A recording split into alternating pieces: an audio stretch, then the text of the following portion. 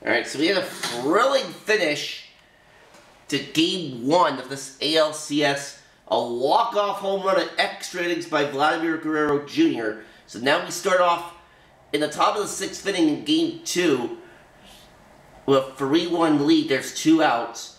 Jimenez at first and Grandal at third. Jose Abreu at the plate. We've got Kevin Gausman pitching.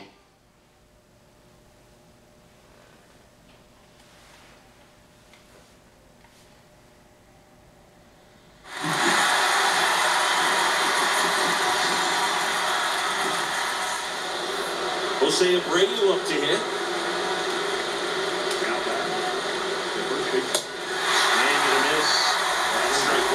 Well, come and get me a fastball right there. He didn't look ready for the velocity. I think if you Ground ball to Chapman, and we go to the bottom of the sixth. Chisholm, that's out number three. Bottom of the sixth inning. And now the Toronto cleanup hitter, Lourdes Gurriel Jr. The left fielder, Lourdes Gurriel. But Michael Kopech, the pitcher for the White Sox in this one. The other way. And uh, caught. Makes the grab. One pitch and one out. Well, on the mound, very efficient. Able to produce an outcome, it seems like, within the third or fourth pitch of just about every at bat. Chapman in the box here. Lets that one go for a ball. Hmm. Next offering is in for a strike.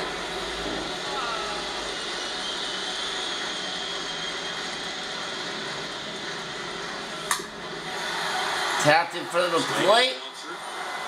To first. And Chapman's out.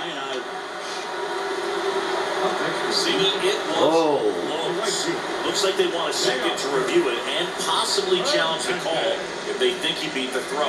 Yeah, Let's they might challenge it just to kind of roll the dice, you know, Boog, and perhaps maybe they see something different as they get a look at some different angles.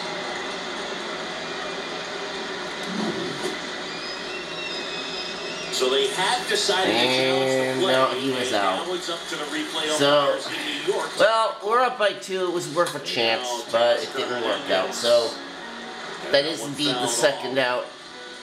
And now we can't challenge again. Comes up empty on the swing, 0-2 now.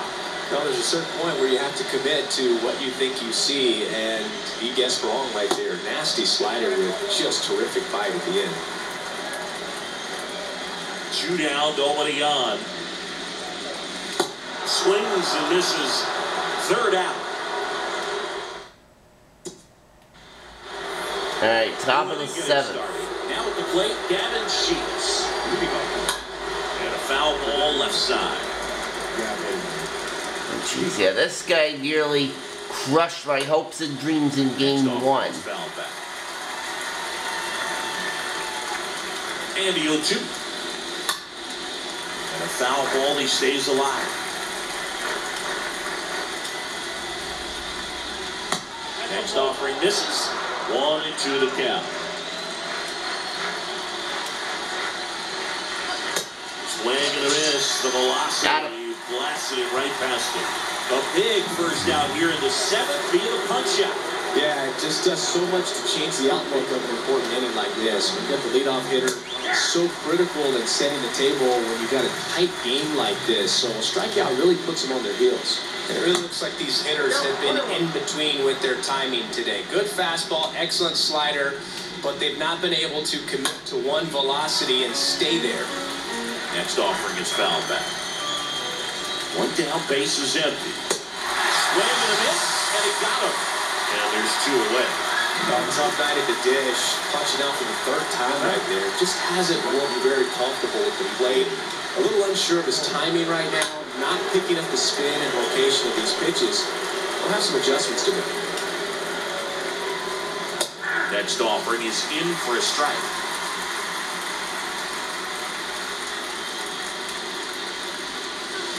Down on strikes.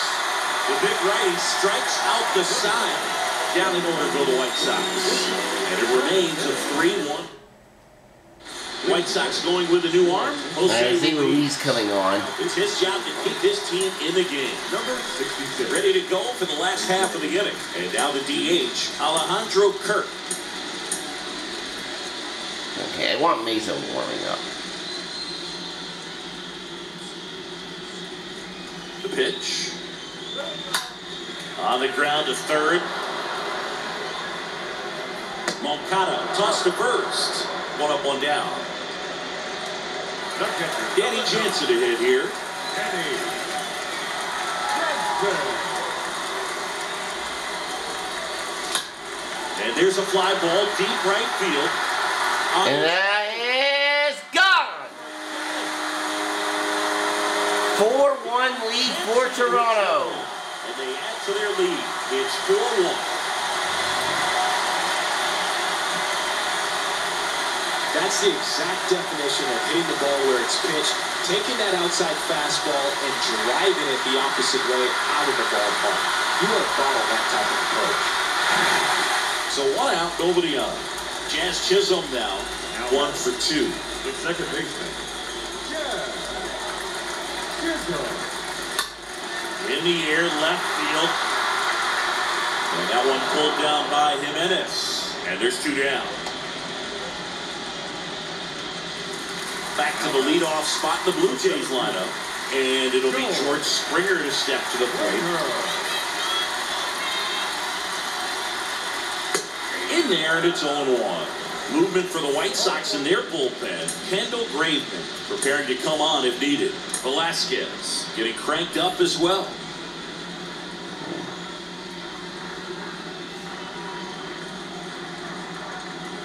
Two outs. And he chases a high fastball there. More and more guys are looking to slug regardless of the count. In this situation, we'll keep a close eye on his approach.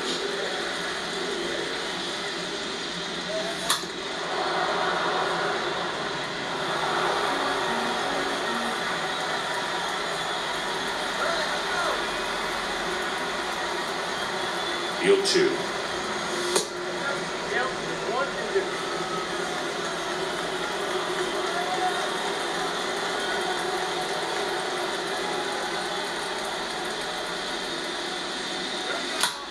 Center field. Garcia under it. And we go to the eighth. Squeezes it. And that is that. Toronto picks up one on this homer. It's now 4-1.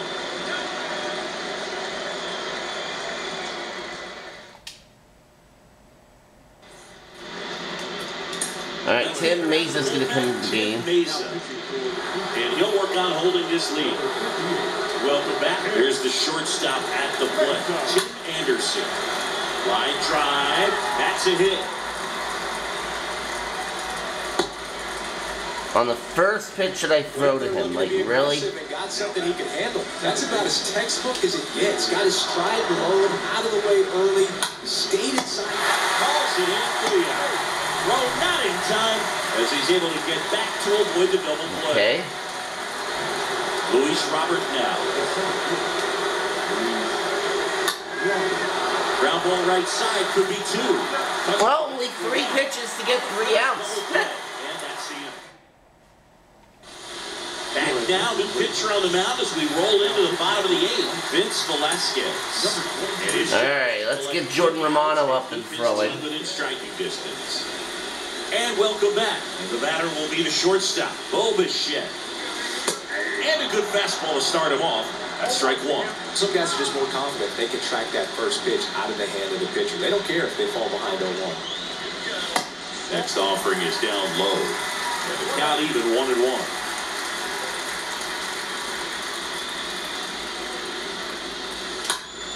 Line drive, caught.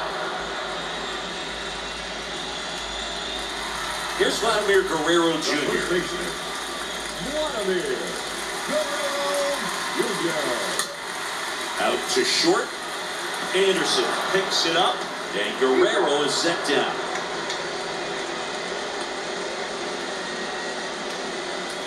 Here's Lourdes Gurriel Jr. Lourdes. Gurriel.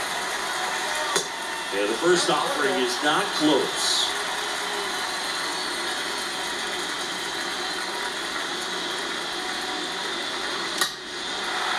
Liner, and And that's going to be into the gap for extra bases. makes the turn and heads for second. In safely, it's a double and his second hit. Throwing that ball nicely, put a great swing on it, and it jumped off his bat. Kind of put it all together there, and he's rewarded with the double.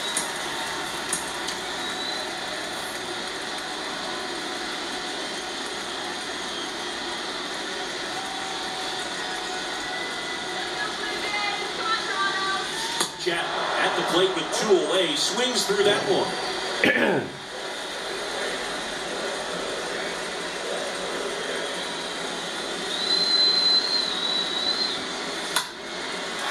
Base hit in the left.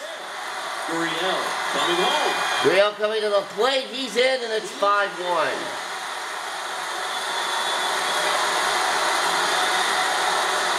Picks himself off an RBI. Nice line drive to full side, cut it out front, but just stayed through it nice enough and ripped it into the outfield. Here's Teoscar Hernandez. And first offering is fouled off. Chapman off of first with two away.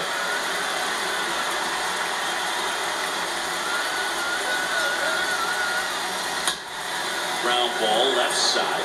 They take the force out, and that Right, well, Romano can't get a save anymore, but I do have him scheduled to come in, so let's just go ahead and do that. Romano out of the bullpen, trying to protect this lead.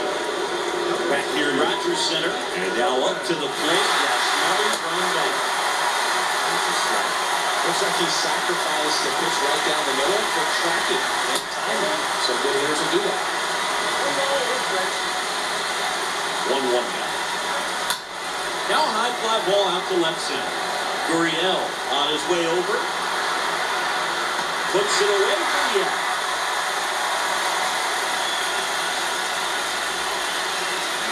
Here's Eloy Jimenez. And he swings and misses, and it's nothing to one.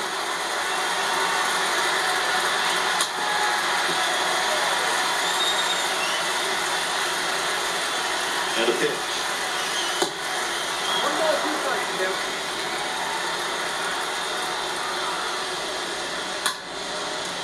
Stays alive.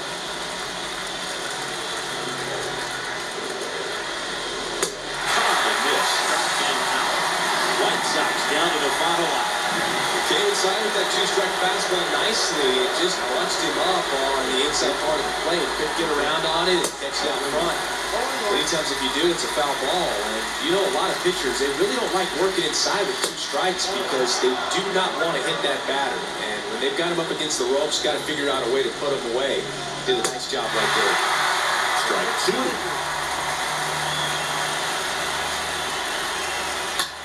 This one. Fly ball, this should do it. And that does do it. Jays up two games to nothing in the ALCS. taking games one and two of the series. So the Toronto Blue Jays are now in the driver's seat with a 2-0 lead in the series. Yeah, it'll be hard for them to not start thinking about the World Series, and maybe that's premature, but up 2-0 in a seven-game series, they got plenty of reasons to be confident. Yeah, for a team that's in a 2-0 hole, they've really got their work cut out for them as we head to a new venue for the next few games.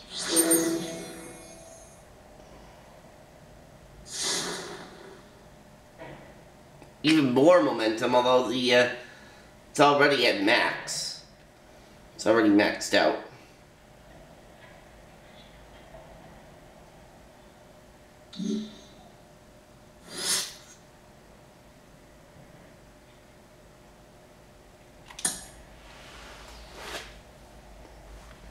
So next time out, we're going to try to claim a 3 to nothing lead.